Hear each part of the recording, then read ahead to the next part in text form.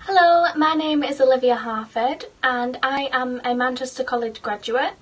I left in 2017 after studying musical theatre for two years. My best advice, if anyone is thinking of going to Manchester College, is go. I had the best two years there, hand on heart, still to this day, the best two years of my life college was like the massive turnover that I needed. My confidence went from here to here. I felt so much better in myself and so much happier in my pathway that I knew that I wanted to go into. I am currently at drama school, which is really exciting. I absolutely love it. I study musical theatre at the Arden School of Theatre. Without the staff at Sheena Simon campus, I would not have been able to even get into drama school.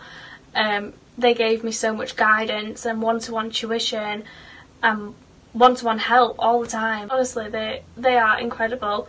They're like a little team of superheroes. I have a few options um, when I leave Arden. I could, hopefully, fingers crossed, um, get an agent potentially, or um, go into some form of professional um, performance work. I could also go into teaching, which is something um, I actually did look at when I was in college. One of my tutors helped me get some work experience at an old high school, and she even um, helped me set up like little lesson plans and stuff, which was really helpful because I had no idea what I was doing. From that, I actually got offered a small paid placement there over Christmas and that was really good, really enjoyed it but again that would not have been without the staff at Sheena. If anyone is thinking of going to the Manchester College then I 100% recommend they are absolutely amazing and I wouldn't be where I am today without them.